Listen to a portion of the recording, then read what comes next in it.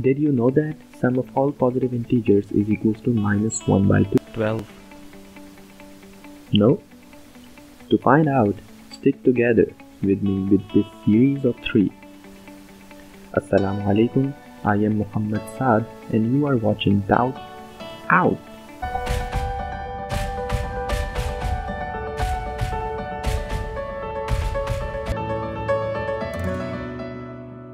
The summation I am going to prove is called Ramanujan summation, done by a famous Indian mathematician Srinivasa Ramanujan. In order to prove this, I will first prove other two summations of Grandi series and Tricker series.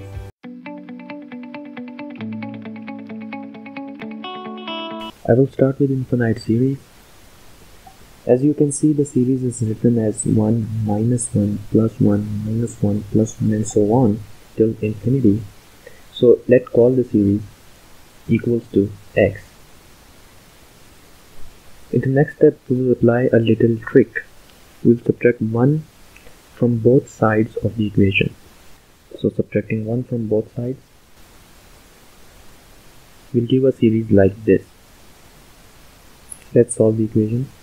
So it is equals to x minus 1 is equals to 1 minus 1 plus 1 minus 1 till infinity and minus 1 let's cancel this minus 1 and plus 1 so x minus 1 is equals to minus 1 so we are remain with this part. Minus 1 plus 1 minus 1 and so on till infinity.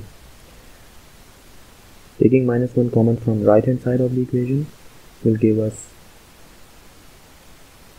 this. So you can see that here we have 1 minus 1 plus 1 minus 1 plus and so on till infinity. And we know that this is equals to x as we substituted before. So putting value of x in place of this series. So x is x minus 1 is equals to minus x. Y minus because of this minus 1 okay? Taking x from right hand side to left hand side and minus 1 from left hand side to right hand side will give x plus x is equals to 1 which is 2x is equals to 1 x is equals to 1 by 2 so you can see that sum of this infinite series is equals to 1 by 2. This series was named after an Italian mathematician and philosopher Guido Grandi.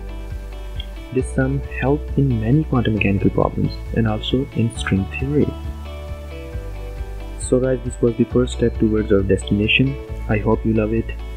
Don't forget to like this video, subscribe my channel and click on the bell icon to remain updated. Thanks for watching.